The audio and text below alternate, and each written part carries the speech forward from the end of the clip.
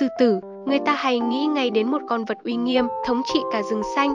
Cùng sư tử cũng vậy, được coi là thủ lĩnh nhóm lửa và nhận được sự bảo hộ của mặt trời.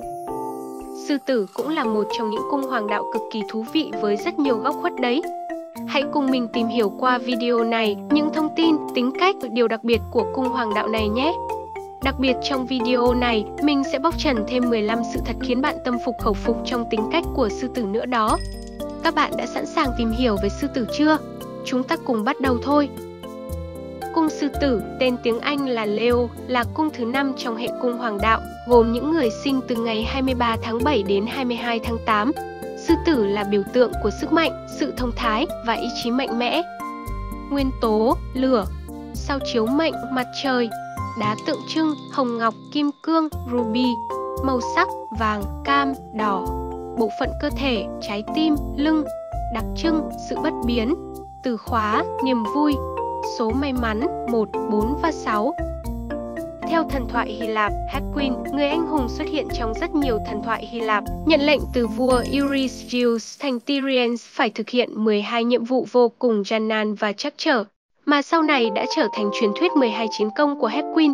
Nhiệm vụ đầu tiên trong số ấy là chế ngự một con sư tử hung tàn, chuyên ăn thịt người ở rừng rậm Nemi. Với cung tên và thanh kiếm của mình, Hedwin đã tấn công con quái vật ngay khi nó xuất hiện trước chàng. Thế nhưng, kẻ thù vốn là một con sư tử siêu phàm, bất tử, với một tấm thân không hề sợ kiếm cung, hung hãn chiến đấu. Hedwin bị nó ôm lấy cổ và ghi chặt trên đôi tay với toàn bộ sức mạnh khủng khiếp. Nhưng cuối cùng, chú sư tử siêu phàm nọ cũng không là ngoại lệ trước sức mạnh và khả năng chiến đấu tuyệt vời của Hedwin.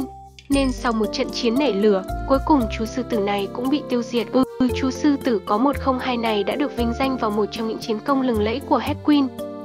Để vinh danh Hedwin, các vị thần đã đưa sư tử Nemi lên thiên đàng, trở thành chòm sao sư tử để thể hiện lòng dũng cảm, kiên định, sự thông thái và ý chí không khuất phục. Ngôi sao chủ quản của sư tử chính là mặt trời. Mặt trời đem đến cho sư tử vầng hào quang chói sáng và khả năng thu hút sự chú ý. Mặt trời là nơi thể hiện cái tôi, bản ngã, sự tự tin, mục tiêu của cuộc đời cũng như khả năng quyết định vấn đề quan trọng. Mặt trời trung tâm của Thái Dương hệ tượng trưng cho những người sinh ra đã muốn trở thành tâm điểm của đám đông. Sư tử là người có trái tim vô cùng rộng mở, năng động, sáng tạo, phóng khoáng và mạnh mẽ, tự tin và cực kỳ kiêu hãnh. Lòng tự tôn giống như ngọn đèn soi sáng cuộc đời của họ vậy. Trong bất cứ hoàn cảnh nào, họ cũng không bao giờ cúi đầu từ bỏ cái tôi của mình. Không quá bất ngờ khi mặt trời sư tử là vị trí của nhiều nhà lãnh đạo tài ba xuất chúng và những người nổi tiếng trong giới giải trí. Người nổi tiếng có cung mặt trời sư tử là Barack Obama, Bill Clinton, Karung, J. Caroling, Coco Chanel, Yves Saint Laurent, Phạm Nhật Vượng. Lãnh đạo và dẫn dắt người khác dường như là sứ mệnh của sư tử. Dù vậy, niềm hãnh diện vốn có trong con người sư tử cần được kiểm soát, nếu không, nó sẽ rất dễ bùng lên thành ngọn lửa của sự tự kiêu và thiêu dụi mọi thứ. Và bây giờ mình sẽ vạch trần thêm 15 sự thật về sư tử mà các bạn có thể chưa biết. Nào, chúng ta cùng bắt đầu nhé. Số 1. Sư tử mạnh mẽ và tự lập trong 12 cung hoàng đạo, không ai có thể phủ nhận rằng người thuộc cung sư tử vô cùng mạnh mẽ, tự tin và táo bạo. Sư tử trời sinh đã có khả năng lãnh đạo, sự mạnh mẽ được thể hiện qua lời nói, Hành động cử chỉ, đặc biệt là năng lực của họ khiến người khác tin tưởng và đi theo. Họ không bao giờ chùn bước trước khó khăn, luôn nỗ lực hết mình, tự làm mọi thứ. Sư tử không thích dựa dẫm hay lại vào người khác. Mang trong mình tính cách tự cường, con người này tuyệt đối sẽ không bao giờ chịu khuất phục trước bất kỳ ai. Họ thích một cuộc sống tự do tự tại, cuộc sống là phải, thoải mái làm những điều mình yêu thích, Hình mẫu mạnh mẽ, tỏa sáng như sư tử thường thu hút được rất nhiều ánh nhìn của các anh chàng, cô nàng và số người theo đuổi họ chắc chắn không hề ít. 2. Sư tử sống rất tình cảm Sư tử vô cùng coi trọng các mối quan hệ tình cảm xung quanh mình, từ người thân cho đến bạn bè rồi tới người yêu thương. Họ luôn cố gắng dành ra rất nhiều thời gian để ở bên cạnh những người họ trân quý. Sư tử sẽ không thể nào cảm thấy hạnh phúc khi bên cạnh không có những người bằng hữu thân thương, Sư tử có thể không ngần ngại giúp đỡ người thân, bạn bè khi họ gặp khó khăn, họ nhiệt tình mà không hề nghĩ tới hồi đáp. Sư tử sẽ không bao giờ bỏ mặc người khác khi họ gặp khó khăn, họ luôn nghĩ rằng bản thân mình nên có trách nhiệm bảo vệ người thân. 3. Sư tử có tính hiếu thắng sư tử có đôi phần cao ngạo, cộng thêm hoài bão to lớn khiến họ luôn muốn giành được vị trí cao hơn so với người khác. Sư tử có năng lực và luôn tin vào bản thân mình, do vậy mà họ luôn khao khát được người khác công nhận. Tính cách hiếu thắng ăn sâu vào tâm trí khiến nhiều trường hợp, sư tử không còn đủ tỉnh táo để phán đoán chu toàn mọi việc hay để ý cảm nhận của người khác. Mặt hiếu thắng này khiến sư tử nhiều lần mất bạn bè, đồng nghiệp, thậm chí còn bị người khác cô lập và xa lánh. Tuy nhiên, tính hiếu thắng của sư tử cũng không hẳn là không tốt đâu nhé. Với lý tưởng phải đứng trên tất cả mọi người mà sư tử luôn nỗ lực cố gắng hết sức mình để hoàn thành ước mơ của bản thân. Vậy nên các bạn đừng chỉ nhìn thấy mặt xấu trong sự hiếu thắng của sư tử, hãy hiểu và công nhận cho cả những nỗ lực công sức của họ nữa nhé. 4. Sư tử rất nhạy cảm. Sư tử kiên cường một cách cố chấp, tạo cho mình hình tượng tốt nhất, thoải mái nhất và kìm nén những cảm xúc thật. Họ sợ nhất là bị xem thường, coi như không tồn tại, sợ mình làm không tốt ảnh hưởng tới tự tôn bản thân hay những người xung quanh, nên thực ra ẩn sâu trong vẻ bên ngoài tự tin, rực rỡ ấy là nội tâm yếu đuối, tự ti, dễ bị tức giận, dễ bị tổn thương và khó chấp nhận thất bại. Kể cả những người gần gũi nhất cũng ít khi được sư tử chia sẻ về những nỗi buồn, mệt mỏi hay sự cô đơn, thất vọng ở nếu chán nản, sư tử sẽ trốn một góc và tự an ủi mình. Họ sợ hãi ánh mắt thương hại hay những lời an ủi xã giao của người khác và không muốn ai nhìn thấy tình trạng tồi tệ của bản thân mình. 5. Sư tử trung thủy và chân thành Sư tử trong tình yêu đặc biệt trung thủy và chân thành đấy. Yêu một ai đó, sư tử chắc chắn sẽ muốn dành những thứ tốt đẹp nhất cho người ấy. Sự chu đáo thể hiện trong từng lời nói, cử chỉ, hành động. Sư tử không bao giờ làm ra những chuyện có lỗi hay khiến người kia thất vọng Tuy nhiên, bản thân họ cũng kỳ vọng rất cao vào người bên cạnh. Không phải ai cũng khiến sư tử yêu thương và công nhận. Do vậy mà một khi đã xác định ai đó, sư tử sẽ đối xử rất tốt với họ. Tình cảm, tình yêu và tình bạn họ đều cố gắng để cân bằng tất cả những mối quan hệ này. Sư tử sẽ không thể chịu được khi nhìn thấy những người họ yêu thương buồn phiền, bản thân họ cũng là một người rất tâm lý và sáng suốt, Sư tử tuy thường ngày có thói quen thích ra lệnh cho người khác, nhưng đôi khi họ cũng sẽ tự nguyện đưa mình vào thế yếu với mục đích khiến ai đó vui vẻ. 6. Sư tử luôn hài hước và thân thiện. Sư tử dễ kết nối với mọi người bởi sự duyên dáng và hài hước của mình. Dù mang tính lửa nhưng họ luôn dùng sự vui vẻ để giải quyết vấn đề. Sư tử là bậc thầy trong việc hóa giải tình huống bằng nụ cười. Giống như mặt trời, sư tử thích mang lại niềm vui cho người khác, Đối với họ, khóc trong mưa cũng chẳng khiến bầu trời hứng sáng. Vậy tại sao không tìm cách mỉm cười khi cuộc đời này quá ngắn để buồn giàu? Nhưng nói vậy không có nghĩa sư tử không biết buồn. Họ chính là tuy bên ngoài cố tỏ ra là mình ổn nhưng sâu bên trong nước mắt là biển rộng. Nhưng với sự kiêu ngạo thì chẳng ai thấy được sự yếu đuối của sư tử cả. Một vị vua không được phép yếu lòng, một vị chúa sơn lâm thì không được tỏ ra kém cỏi. 7. Sư tử rất tin người Đa số sư tử rất tin người, Họ dễ dàng kết thân với người khác cũng bởi vì tính tin người đó. Điểm tốt là sư tử luôn trao người khác ánh mắt tin tưởng nên vô cùng dễ tạo thiện cảm. Thế nhưng mặt xấu là sư tử thường xuyên bị đâm sau lưng. Những kẻ vụ lợi thì không thiếu, mà sư tử thì quá ngây thơ và tin người. Kẻ xấu lấy thế làm đắc ý, dựa vào sự hào phóng, cả tin cũng như lòng khoan dung của sư tử mà trực tiếp làm sư tử bị tổn thương. Tuy nhiên, mỗi một vết thương lại làm sư tử thêm một tầng xa cách, sư tử càng trưởng thành lại càng thêm lý trí, lạnh lùng và biết cách nhìn người hơn. 8. Sư tử là người bạn tuyệt vời. Nhiều người không biết rằng sư tử rất giỏi quan sát và phân tích người khác. Đôi khi chỉ một cái thở dài hay một thoáng nhíu mày của bạn, sư tử cũng đã thu hết vào tầm mắt. Đằng sau vẻ bề ngoài hờ hững là một trái tim ấm nóng lúc nào cũng quan tâm đến bạn bè, người thân. Bởi vậy nên chẳng ngạc nhiên khi bạn gặp khó khăn, sư tử là người đầu tiên đưa tay cho bạn nắm, và suốt chặng đường ấy, họ không hề buông ra cho tới khi sư tử thật sự cảm thấy bạn đã ổn. Làm bạn với sư tử là một trong những trải nghiệm tuyệt vời nhất theo nhận xét của nhiều người. Sư tử lúc nào cũng hết mình với bạn bè khi bạn cần, sư tử hầu như không bao giờ vắng mặt. Bên cạnh đó, sự nhiệt tình cùng khả năng quẩy tới bến của sư tử luôn khiến cho không khí thoải mái, vui vẻ. Quan trọng hơn nữa, sư tử rất giỏi lắng nghe, sự chăm chú và đồng cảm của sư tử đem lại cho bạn cảm giác an toàn, như thể rằng nỗi đau của bạn sư tử cũng đang gánh chịu vậy. 9. Cái tôi cá nhân cực kỳ lớn Vốn dĩ, đã là một sư tử thì điểm đầu tiên được nói đến là sự cố chấp khủng khiếp. Một sư tử không bao giờ chấp nhận bản thân mình sai, kể cả khi chính họ cũng tự biết điều ấy, hình như mình sai thật, thật sư tử cũng vẫn sẵn sàng đấu tranh bằng được, cương quyết không chịu phủ nhận sai sót của bản thân.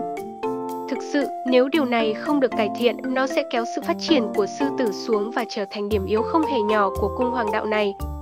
Tự ái cao, cái tôi cá nhân cực kỳ lớn cũng được xếp vào tật xấu của sư tử. Họ dễ dàng giận dữ đối với bất kỳ ai phủ định họ, sư tử luôn cho rằng mình phải là người chỉ huy, dẫn đầu và họ không cho phép bất kỳ ai phản đối họ. Và nếu không cãi được, cơn giận của sư tử sẽ dễ dàng bùng phát đúng với tính chất của nhóm lửa. 10.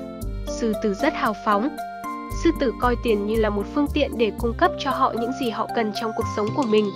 Sư tử được bạn bè yêu mến vì tính cách hào phóng. Họ sẵn lòng khao anh em mọi lúc mọi nơi nếu có thể và còn cho bạn bè vay mượn nữa chứ. Sư tử là người ít tính toán nhất trong các chòm sao, hào phóng nhất 12 chòm sao, có xu hướng chia sẻ mọi thứ. Nếu hết tiền thì, hết rồi thì kiếm lại mấy hồi, ha ha, tính cách thoải mái, sảng khoái, dẫn đến sự rộng rãi của sư tử. Tại sao sư tử lại tự tin như vậy? Vì họ cũng có khả năng kiếm tiền khá tốt. Sư tử rất có ý chí để tạo ra tiền trong cuộc sống của họ bằng cách họ có thể lao về phía trước mà không thèm nghỉ ngơi trong thời gian dài. Khi đi chơi với sư tử thì dù có kẹt đến đâu thì sư tử cũng không bao giờ yêu cầu bạn trả tiền cho họ, bởi vì trong họ có cái tôi quá lớn. Sư tử thậm chí sẽ vay tiền trước khi họ đi chơi với bất kỳ ai hoặc là họ sẽ từ chối lời mời của bạn. Nếu các bạn thấy một sư tử từ chối lời mời thì cũng có thể là sư tử đó đang bị viêm màng túi đấy. Nhưng vì một người bạn của mình, sư tử có thể tiêu cho đến đồng xu cuối cùng luôn. 11. Sư tử yêu ghét rõ ràng những người cùng sư tử đối xử với người họ thích và không thích hoàn toàn không giống nhau, yêu ghét rõ ràng, không bao giờ có chuyện giả vờ yêu. Bởi với sư tử tình yêu là thứ tình cảm thiêng liêng không thể đem ra đùa giỡn. Đối với những người bạn khác giới, thường thì họ có thể ăn nói đĩnh đạc và thao thao bất tuyệt cả ngày, nhưng khi đứng trước người mình thích thì miệng lưỡi như líu lại không thể nói được gì. Sư tử thích bạn thường sẽ có những hành động thể hiện rõ ràng cho bạn biết, đáng nhất là sư tử nam. 12 sư tử khi yêu rất ghen. Thật ra trong 12 cung hoàng đạo thì sư tử của chúng ta cũng là chúa ghen đấy. Nhưng không phải vì những cảm xúc ấy mà sư tử tầm thường hóa mình đâu nhé. Ghen cũng biết người biết ta, ghen rất khéo léo là đằng khác ấy chứ. Cơ bản, sư tử đã là một kẻ đa nghi, ích kỷ, chẳng muốn chia sẻ người mình yêu cho bất cứ ai. Huống chi, sư tử phát hiện ra bất cứ hành động xâm phạm chủ quyền nào của kẻ khác thì át hẳn đã khơi dậy cơn ghen của sư tử, và thực tế sẽ cho bạn thấy con mèo lười đáng yêu mọi ngày và bỗng chốc hóa thành con sư tử thực thụ, sẵn sàng lao vào cào cấu bạn bất chấp tất cả. Bởi có câu yêu quá hóa điên, và sư tử là một ví dụ điển hình, nhưng đó chỉ là trong suy nghĩ của sư tử thôi. Vì sư tử sẽ ghen theo một cách khác, không bạo lực và có chừng mực, sư tử luôn biết thể hiện lòng tự tôn của mình, tôn trọng bản thân và cả người khác. Có được hạnh phúc đã khó, gìn giữ hạnh phúc ấy, còn khó gấp trăm lần. Thế nên sư tử không muốn vì một phút ghen tuông mà đánh mất hạnh phúc. Thật ra, sư tử không phải là kẻ yêu cuồng ghen dại, ghen tuông nhưng không mù quáng, đánh mất cả lý trí và bản thân. Nếu tinh ý một chút bạn sẽ thấy trong cơn ghen nữ sư tử cũng bộc lộ bản tính con nít của mình, rất là đáng yêu đó nhé. Vì cái tôi cao ngất nên khi ghen sư tử chẳng thèm nói toẹt ra đâu mà sẽ lại bóng gió trách móc bạn vài câu nhưng thật lòng sư tử sợ mất đi người mình yêu thương nên mới như thế. 13. Sư tử rất thiếu kiên nhẫn và ghét chờ đợi. Sư tử là một người thiếu kiên nhẫn. Vì vậy đừng bắt sư tử chờ đợi bạn một cách quá lâu, bởi vì sư tử không bao giờ thích chờ đợi. Sư tử là người thích việc gì cũng phải nhanh, đúng thời gian. Chỉ một chút cò quay thôi là sư tử sẽ nổi nóng ngay. Sư tử khi người khác đến muộn, trễ hẹn, chậm tiến độ công việc sẽ rất bực mình, Tuy nhiên, ở nhiều khi sư tử nữ lại bắt người khác chờ đợi và chỉ cười khi người khác cằn nhằn mình hoặc nêu rất nhiều lý do khiến cho người ta đợi. Nhưng thông thường, sư tử sống rất nguyên tắc, đúng giờ là đúng giờ, đừng bao giờ bắt sư tử chờ đợi một điều gì. Sư tử rất coi trọng thời gian. Sư tử rất giỏi suy diễn, nếu bạn đến muộn quá lâu, sư tử sẽ rất lo lắng bạn bị làm sao. Và thường ấy nay với chính bản thân mình. Sư tử chỉ chủ động chờ đợi rất lâu nếu như bạn xứng đáng được sư tử chờ đợi. Lúc đó, bạn là người cực kỳ quan trọng với sư tử đấy. Họ có thể chịu được sự bực tức, lo lắng một mình. Chỉ cần một lý do chính đáng thôi, họ sẽ bỏ qua cho bạn hết và coi như không có chuyện gì xảy ra. nhưng tốt nhất đừng để sư tử thất vọng quá nhiều, nếu cứ liên tục tái diễn, sư tử sẽ dần trả thù bạn bằng cách cao su hơn với bạn đấy. 14. Sư tử sợ cô đơn Với lửa cháy chưa bao giờ cạn, sư tử luôn đi đầu trong việc đẩy không khí lên đến nấc cao nhất có thể. Cười nói không ngừng và rất nổi bật là đặc điểm dễ thấy, để mọi người nhận ra sư tử giữa đám đông. Những tưởng thế, mà đúng là thế, lúc ở bên bạn bè sư tử rất vui vẻ và nhiệt tình, điều ấy là thật lòng. Nhưng khi trở về với không gian của riêng nó, trong sư tử chỉ là sự trống rỗng. Nếu ai đó hỏi sư tử rằng, mày sợ cô đơn à? Nó sẽ gạt phát đi và nói rằng, mày điên à, tao thiếu gì bạn mà phải sợ cô đơn. Làm sao một loài có lòng tự tôn cao như sư tử có thể thừa nhận rằng nó cần được ở bên người khác, cần sự an ủi, thậm chí là thương hại của người khác? Sẽ chẳng bao giờ như vậy. Và có lẽ sư tử cũng chẳng thành thật với chính bản thân mình. Bạn bè nhiều thế, lúc nào cũng mất cười, miệng cười thì cô đơn cái gì, nhưng đó chỉ là những lời tự bao biện trong lý trí của sư tử. 15. Sư tử và những điều trái ngược Sư tử khi bình tĩnh thì rất khôn ngoan, nhưng khi nó bực là nó chỉ thông minh hơn thằng đần một tí thôi.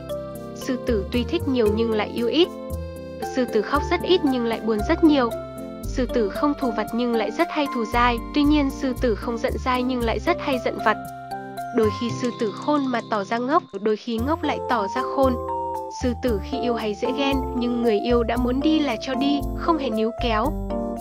Sư tử bên ngoài thì cười mà bên trong lại khóc, hoặc bên ngoài giả vờ khóc lóc đến tội nghiệp, nhưng trong bụng thì đang cười thầm đứa ngốc nào nghĩ mình khóc thật. Sư tử khi yêu luôn cho rất nhiều nhưng thường nhận lại rất ít, trên đây là những thông tin về cung sư tử mà chúng mình mong muốn chia sẻ với bạn. Hy vọng qua video này, chúng mình đã giúp các bạn tìm hiểu rõ ý nghĩa cũng như những sự thật về cung sư tử.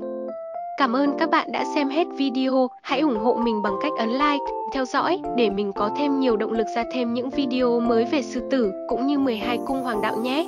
Xin chào tất cả các bạn.